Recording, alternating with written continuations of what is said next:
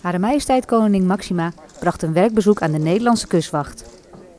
Het bezoek startte in het operationele hart van de kustwacht. In dit continu bemande operatiecentrum komen alle meldingen binnen van mensen die hulp nodig hebben op het water. Koning Maxima sprak met medewerkers over hun werkzaamheden. Aansluitend bezocht ze het patrouillevaartuig Barend Biesheuvel. Ze sprak met de bemanning en kreeg een rondleiding aan boord. Het bezoek werd afgesloten op het nabijgelegen maritiem vliegkamp De Kooi. Koningin Maxima bezocht een kustwachtpatrouillevliegtuig en een reddingshelikopter. De bemanningen van beide luchtvaartuigen legden haar uit hoe zij vanuit de lucht de kustwachttaken uitvoeren.